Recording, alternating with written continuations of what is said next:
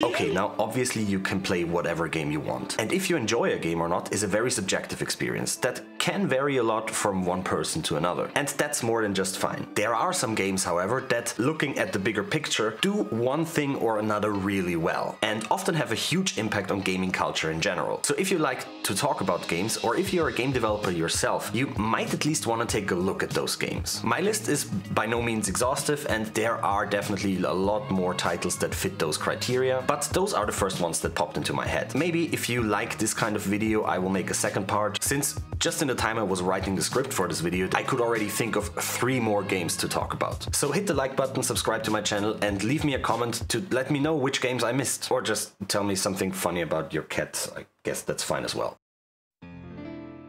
I am starting with a game that I am probably quite biased about since it is the first game that got me into playing video games in general. Like, I played games before, but I wasn't into video games. Before Ocarina of Time, I never really wanted a game. If I got one, okay, if I didn't, whatever. It wasn't even the first time that I saw a game in 3D, but it was the first time that I experienced a proper story in 3D. Games like Mario 64 or Crash Bandicoot always seemed more like a theme park to me. I was always just like on one attraction or the other and I never was able to forget that I am actually playing a video game, while Zelda was able to totally immerse me into the game world. I was living Link's story, and I was even making up my own stories about the game. I don't know how much time I spent just aimlessly running through 3D polygon Hyrule. Now, I guess there are a lot of games that rely on this kind of narrative immersion to captivate players, but I always come back to Zelda because I actually think Nintendo does a really good job of providing this experience and at the same time providing a very fluent and kind of timeless gameplay. You can still play Ocarina of Time today and it is mostly fine. You might maybe be a little bit annoyed by the camera, but that's about it. And I'm definitely not the only one who felt this way, since there are so many players and even game developers who quote Ocarina of Time as one as their main inspirations. The game does a really great job at designing 3D dungeons, and I just love the typical Zelda progression system, which is kind of different from the more RPG-like leveling that we've seen in so many titles. If I had to think about any game that I would call timeless, it would probably be Ocarina of Time. timeless. Although there are some aspects that at closer look I am not that excited about, like the whole time travel aspect. Luckily there are other games that have an even better take on that specific point.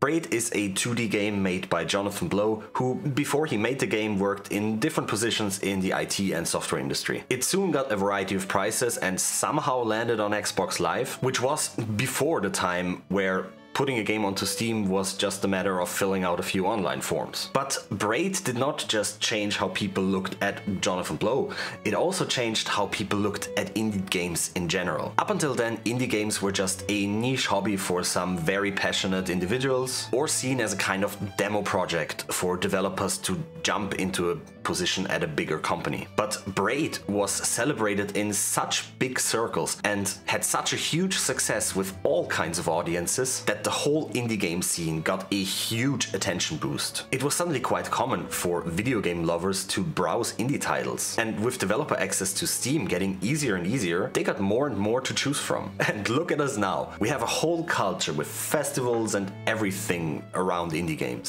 I admit this is probably not everything just because of Braid and there was an indie scene even before that, but I do think that the effect that this game and its critical acclaim had on the whole industry should not be taken lightly. And even if that wasn't the case, Braid did not get all of its praise for nothing. It's a very thoughtfully designed experience. And while definitely not the first game that plays with the time rewind function, it is the first game that feels like it takes this mechanic seriously and treats it like more than just a handy gimmick. And I think that alone is a reason why everyone should have at least tried this game.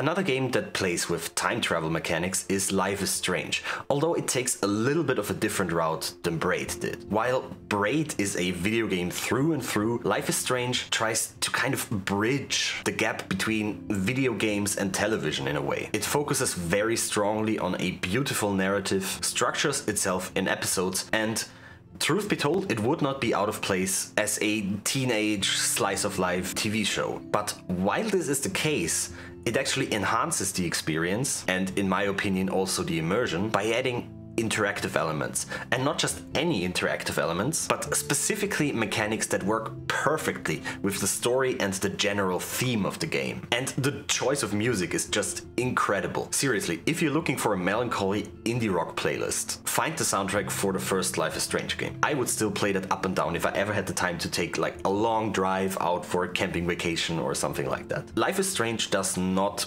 push the limits of the medium in the way that Braid did, but only takes the elements that it needs to enhance its own experience. Which I think is great, because it shows that there is more than just one valid way to work with gameplay and mechanics, and that different variations can still lead to different but very entertaining outcomes. Unfortunately, I think that the successors of Life is Strange were so far not able to repeat its success. While they are not bad games per se, I would not put them on the same pedestal as the first Life is Strange.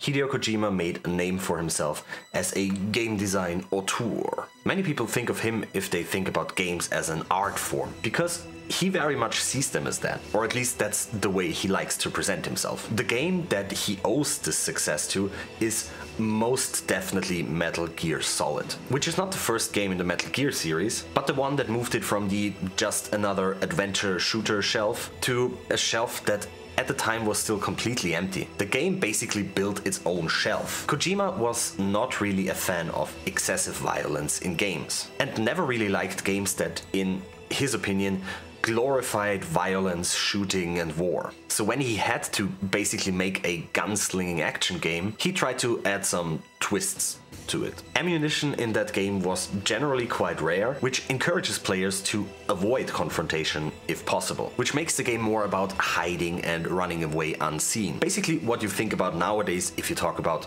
stealth mechanics. However, Kojima added many more other aspects that made the game, holistically speaking, an experience that was quite unique at the time and is still very intriguing today. Metal Gear Solid was fully voice acted, which was not something that was done very often at a time where audio files still took up a lot of valuable space on a game disc. And some of the boss mechanics were just so incredibly genius that I don't know if you would even be able to replicate it today. Seriously, if you know what I'm talking about, tell me in the comments how long it took you to figure out how to defeat Psycho Mantis.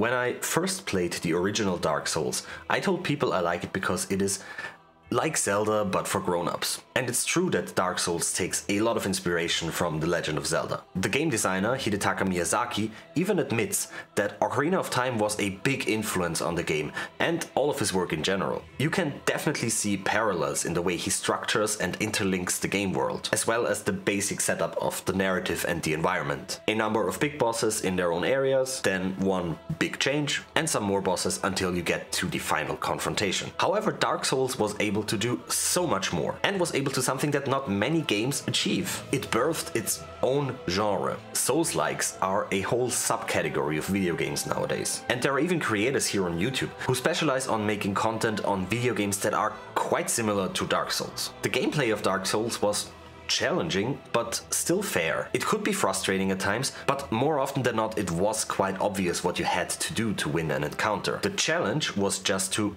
executed properly. Losing or dying in Dark Souls was not seen as a failure but a part of the experience. And Miyazaki and his team beautifully integrated this ideology into the narrative of the game. Not only can you progress, but you can progress in a variety of ways, making even additional playthroughs of the game a new and refreshing experience. And man, I could talk hours about the storytelling and the narrative. I admit that Dark Souls' approach to this is not for everyone. Some people like their story clearly laid out and presented so that they can easily follow it without having to think much. And that is a perfectly valid preference. I too have my times where I just want to lay back and have some story sprinkle on me while I relax. But I also love to figure out things by myself and put together a puzzle out of ideas and small things in the game that I might not have thought about before. And Dark Souls does just an amazing job at this kind of environmental storytelling that hides little hints to larger stories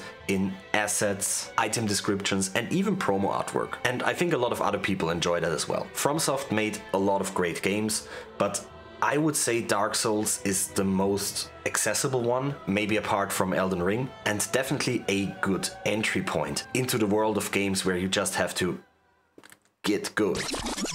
That's it for today, I hope you enjoyed the video and you know what comes next. Press the like button if you like it, subscribe to my channel if you want to stay up to date, and leave a comment to say hi, tell me how bad my hair looked today, or just maybe tell me about your day. YouTube loves that, but I actually do too. Other than that, I hope you have a great day and see you in the next video.